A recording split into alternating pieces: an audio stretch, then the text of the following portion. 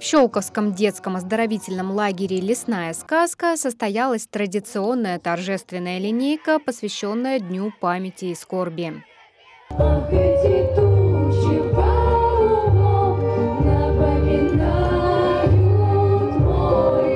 Почтили память погибших в годы войны всех тех, кто защищал свою родину минутой молчания, а также передали из рук в руки свечу памяти.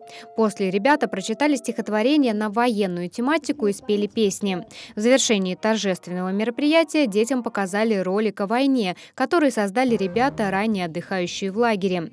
В первую смену в лесной сказке проводят свой досуг более 140 человек. Первая смена июнь месяц, э, традиционно патриотический, так как насыщен э, патриотическими датами. И название этой смены э, «Славе не меркнуть, традиция жить».